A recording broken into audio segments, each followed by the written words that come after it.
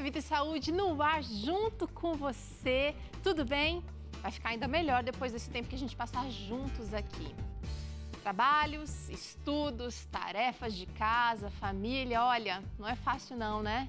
São tantas as coisas que a gente tem que tomar conta no dia a dia que no final de tudo a gente pode se esquecer de tomar algo muito, muito importante: a água.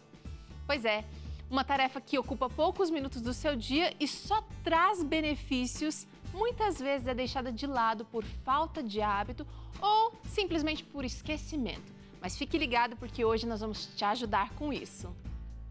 E será que é possível melhorar o estresse da vida e assim evitar, por exemplo, problemas cardíacos? É o sonho de muita gente, não é? Talvez seja o seu. E esse é o assunto que a gente acompanha hoje no Claramente. E vem cá dar uma olhada na receita deliciosa para a gente começar bem a semana.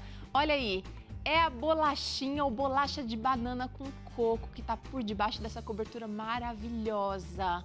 Vai, vai ficando aí com vontade que eu vou te ensinar daqui a pouquinho essa receita. Mas antes de começar o programa, eu quero dividir com você esse pensamento, olha só. Lugares desolados e obscuros se transformam em verdadeiro templo através da oração de um filho de Deus. Olha que, que pensamento poderoso. Se você pensar em algum, alguns, alguns autores da Bíblia, alguns personagens reais da Bíblia, como Jonas, que orou de dentro da barriga do peixe, como Daniel, que orou em situação difícil, como José, que orou de dentro da prisão, Paulo e Silas cantando dentro da prisão. Situações, circunstâncias difíceis, mas que foram transformadas pelo poder da oração. E isso está ao seu alcance também, que você possa aproveitar esse recurso que também traz saúde e paz ao coração, que é a oração.